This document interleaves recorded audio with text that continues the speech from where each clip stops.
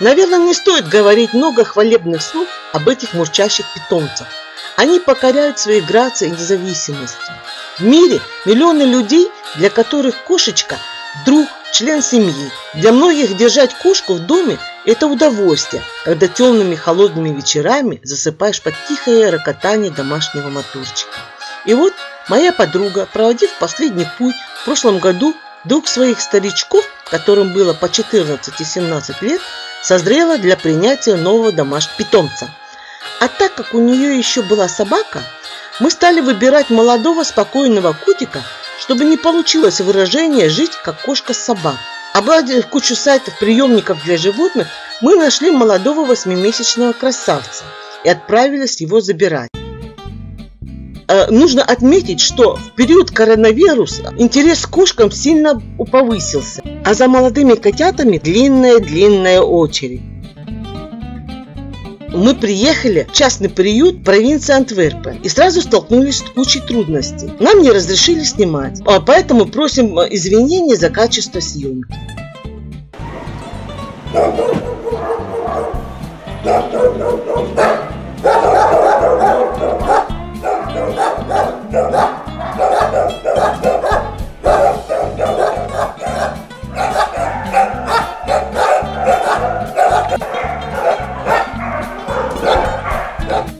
Судьбы животных, попавших в приют, различны. В основном это отказник. Причины такие же, как и в других странах. Питомец надоел, болен, требует много заботы, а иногда и денег. Аллергия у кого-то из членов семьи. Или переезд. Уличных собак в Бельгии нет, но уличные коты, а вернее деревенские, то есть домашние котики, на самовыгуле часто встречают. Их периодически отлавливают и доставляют в приют. Взрослые животные трудно адаптируются и доживают свой век в приюте. А вот бывшие домашние, как правило, не задерживаются и быстро находят новых хозяев. Так получилось и в нашем случае. Is een kat. Die heeft uh, altijd in een huisgezin gezeten. Ja. En nu, sinds de laatste drie maanden, begint ze te krabben naar de, naar de kleine kinderen. En die zijn nog niet lang dan? Ja, uh, ik denk een maand of twee. Выбранный подругой котик никак не шел в руки. Зато другая кошечка, к нашему удивлению, проявила к нам интерес. И подруга поменяла решение, решила забрать именно ее. En dat zwartje is hier geboren? Nee, eigenlijk is dat uh, een zwerfkat. Ja. Uh, ik ben die gaan halen ergens in, in iemand zijn tuin, worden die geboren. En ik ben die gaan halen. En eigenlijk, in het begin waren ze nogal moeilijk.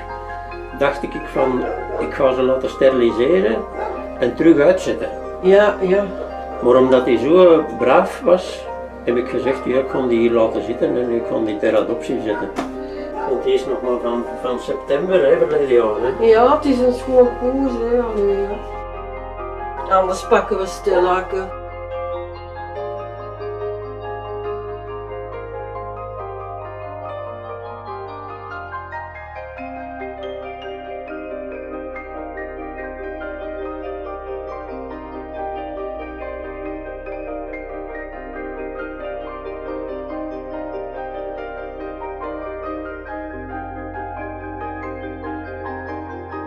И снова проблема. Помимо обычной идентификационной карты, которая требуется при оформлении, стали спрашивать пин-код этой же карты, которую, конечно, никто и не знал. Забирание Стеллы, так зовут кошечку, было отложено на следующий день. Ja, om de kat te registreren. We moeten die registreren en dan de pincode van uw... И вот малышка в новом доме, с новыми друзьями. Пусть у нее служится счастливая жизнь, а уж об этом моя подруга позаботится.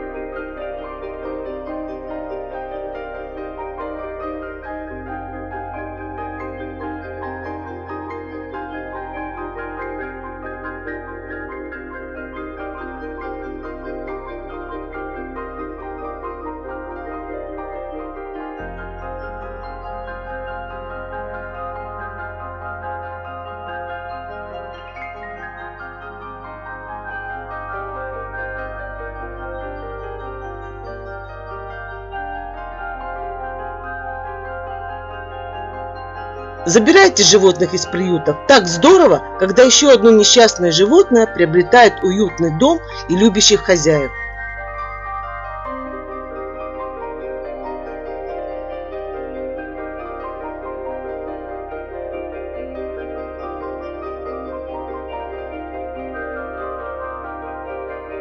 Оставайтесь с нами на канале Картинки Бельки.